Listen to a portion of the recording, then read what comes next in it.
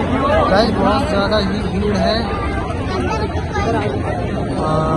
आज क्रिसमस का दिन है। आप देख रहे हो, बहुत ज़्यादा, बहुत ही ज़्यादा भीड़ है। मैं हूँ और मेरे साथ मेरे छोटे मम्मू है। लोग जा रहे हैं बाहर और आप लोग देख ही रहे काफ़ी ज़्यादा भीड़ है। शाम का टाइम हो गया, ठंडी का टाइम हो गया।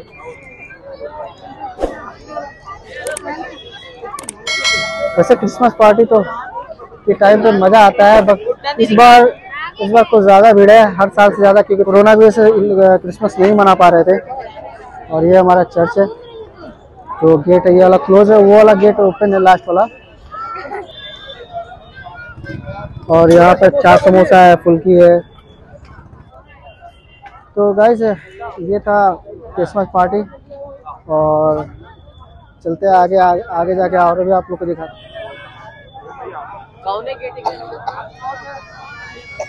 ये जो रोड है ठंडी सड़क की तरफ़ चला जाएगा और ये चर्च की तरफ़ जाएगा। और इधर से आप रोडवेज़, सीधा रोडवेज़ जा सकते हैं और इस साइड से आप नरोली पुल जा सकते हैं। यहाँ पर पेस्ट्री वगैरह है, ये पानी पूरी वाले भैया है, जो पानी पूरी खिला रहे हैं। तो अब मैं जा रहा हूँ अपनी बाइक उठाने और बाइक उठा के मैं यहाँ से निकल जाऊँगा अपने फ्रेंड सत्या के घर पर।